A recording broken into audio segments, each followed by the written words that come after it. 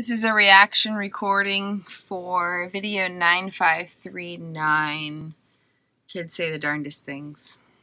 Yeah, and then I go, and then I go two, and then that goes there. This one goes right there. Um, my friend, how much should I narrate or just not say anything? Narrate as much as you want. The more you narrate, the better. Oh, really? Yeah. But isn't your narration so much It's both better? of us. No, I mean, I'll fill in the blanks. But, But you narrate whatever you can. um, but yours is better. No, You're an adult. but we need your perspective. I don't have one. Well, what you don't have to say anything. First of all, yes, you do. Very much so. Oh, I guess I don't know what that means. What does it mean to have a perspective? It means that you see things in a certain way.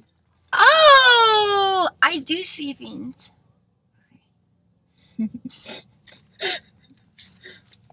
So just, just say whatever you want to say. Nothing to.